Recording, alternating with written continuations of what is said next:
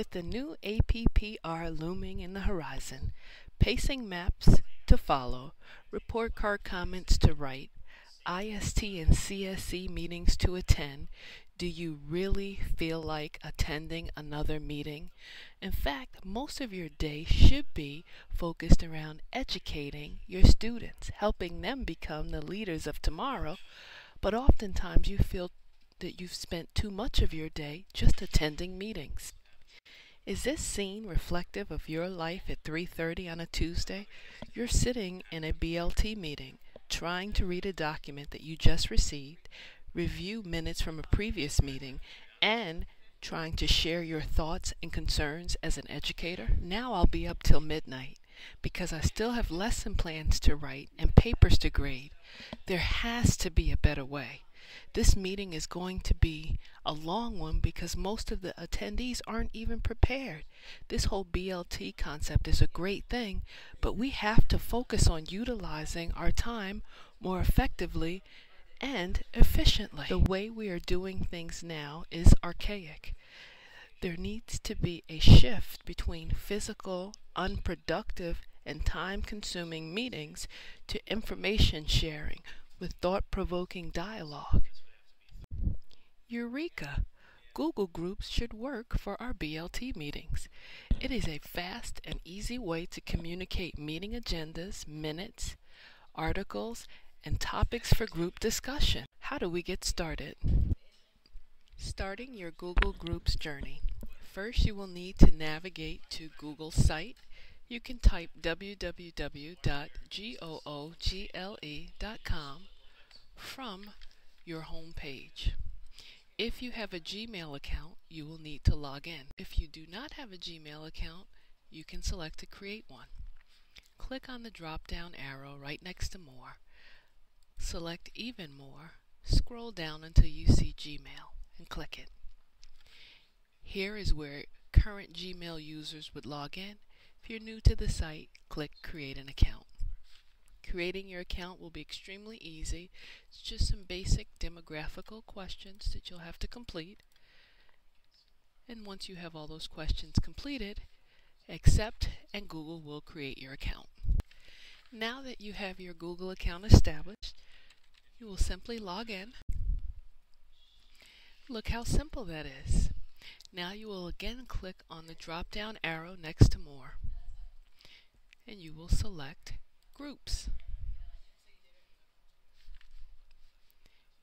And this is the screen that will become your friend as you establish your very own Building Leadership Team group. As you can see, the Google site is very user-friendly and creating your group will be effortless. You'll simply click the Create button. You'll name your group. I suggest keeping the naming piece extremely simple and working with your school name, followed by building leadership team. You can see that Google, based on your group's name creates a group email address.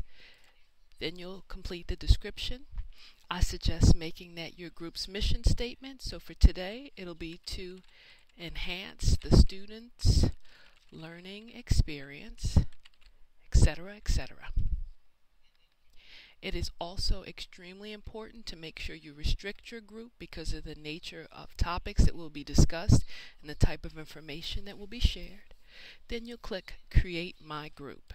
It'll bring you to the next step, which is to add the members. This particular step is a step that you can skip. Um, I prefer to skip it. Something you might want to consider is personalizing the invitation to your group. I suggest that using this space to enhance the benefits of belonging to this group. So you might want to put some information like streamline the process, communicate more effectively. Voila, your group is now built. Now this is the customization phase. You can go in and you can customize the way your group appears. I personally pref prefer to add my group members at this phase now this is my completed group for the Montessori Building Leadership Team. As you can see, I've added members. Um, I've also uploaded a document for the group to review. and it makes information sharing more effortless. Another great function is the Google Calendar. The calendar is extremely helpful because you can uh, schedule all of your meetings for the entire school year with the simple click of a mouse. You'll select the month in which your meeting is to occur, your date, and simply hit create. You can title your meeting, the start time, end time, where your meeting will be held, a description of what will be discussed, and you can add attachments. That is an extremely helpful feature if you have minutes from the previous meeting that you'd like to make available, or maybe articles that you'd like to share with the group. Add guests. This is where you'll type in the email address of your group, add, and it'll automatically show you the names of the guests that participate in that group and then you'll simply invite them.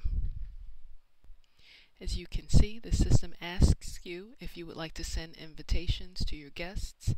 Select Send, and there you have it, Google Groups.